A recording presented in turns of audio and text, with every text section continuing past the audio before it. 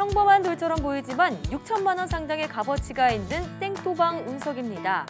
지구가 생길 당시인 45억 년 전에 만들어져 5만 5천 년 전 지구에 떨어졌을 것으로 추정됩니다. 바로 옆에 몽듀 운석은 몸값이 더 높은데요. 무게는 364kg에 가격은 1억 5천만 원이 넘습니다. 달 착륙 50주년을 기념해 프랑스의 한 호텔이 개최한 경매에 등장한 운석들인데요. 이날 경매에는 그램당 가격이 가장 비싼 화성 운석도 등장했고요. 가장 아름답기로 소문한 운석도 등장했습니다. 전 세계 운석 시장은 매년 빠른 속도로 성장하고 있는데요. 운석의 가격은 발견 지점과 충돌 지점, 무게 등을 고려해서 결정된다고 합니다.